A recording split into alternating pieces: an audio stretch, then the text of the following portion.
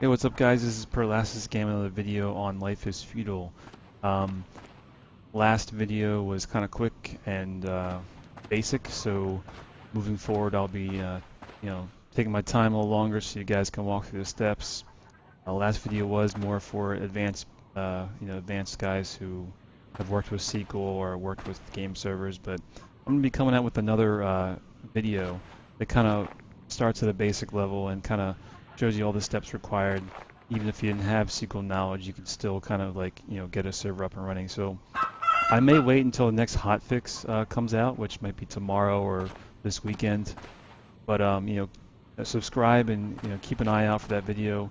I'm going to go over a few other things, but today I'm just going to show you guys how to add the GM commands and get it so if you have a dedicated server, you can start basically, um, you know, uh, you know, giving items out to your, your buddies if you need to for testing or if something got removed or stolen or, you know, that kind of stuff. Um, stuff that really helps out in testing because, you know, this is early access and I could be, you know, this, this video could be obsolete by tomorrow if they release the, the GM uh, uh, fixes you know, because um, there's not a lot of commands right now, and I think it's because they're still kind of restructuring the, their tables and the database and how the game works.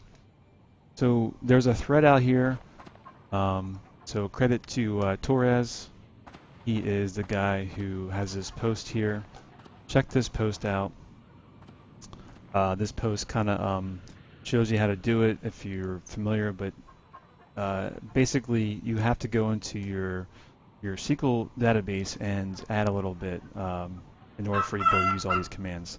So far I'm able to do complete and add, uh, add and uh, delete and add object in front of you like if you want to place a school like it says or like a wall you could do that. And let me show you how I do that. So first thing you're going to do is go in your server, okay? Uh, go ahead and open the, uh, the Heidi SQL program and what I want you to do is go ahead and connect to your database. And again, this is the LIF1 database. Okay, once you get that up, you're going to go ahead and go to your query but tab right here. And don't worry about all this junk right here. This is kind of what I was playing with. Um, but you do want to use this. So basically, uh, what this first line is, is saying select um, from these two tables and just select everything. And what I do is I, because I want to keep some of these other queries here, I highlight the one I want to run, right click on it, and say run selection. Here, what this is, is a selection of these two tables together. So you're going to get duplicates. You could also do a distinct that only do a few different things. Okay, try this again. What we get? 247 rows. I don't think I've done this yet, so let's see what happens. Uh, actually gets still 247 rows because it's just those combined actually.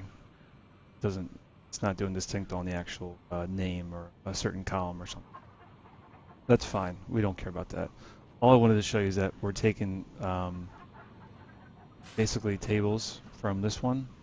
Okay, there's some tables here, some players, and they have ID, and they have an account ID. Basically, the uh, the IDs that I I want is this account ID.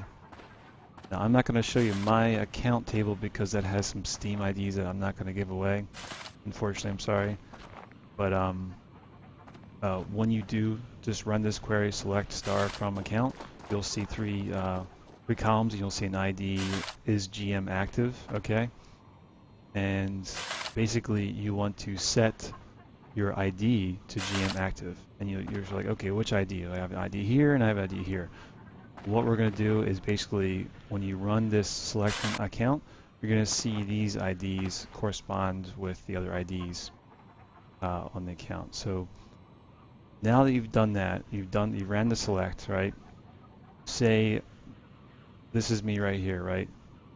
Prolasis. Okay. My ID is 2. Okay. So I'm going to go ahead and update the account table where account ID is 2 and set the is GM to 1. Now here I did it for chill, his ID is 3. And you can see here if you run this query right here, okay, just like that, you're going to set this is GM column to 1. And it's going to basically uh, make that person be able to use those commands. And that's it. Uh, once you find out your account ID, okay, then just go ahead and run this update command. So getting out of this, okay, so let's practice. Or see if this works. So I'm going to go ahead and do Microphone muted. tilde. It is add, and what you can basically do is, I think it's quality, and it tells you actually, so do slash add type is, um, I have no idea, maybe, I think it's quotes, leather, right? Uh, amount one, Microphone activated. and let's see, quality, quality at 99 and durability to 50 and that's it. So let's enter. Okay. And I've already created this but here is our item right here this cool looking thing we got quality 99 durability 50 that's pretty much it guys um, I'm not going to show you all the commands the commands are very basic and they're just like it has in this document here uh, this thread so go out to this thread.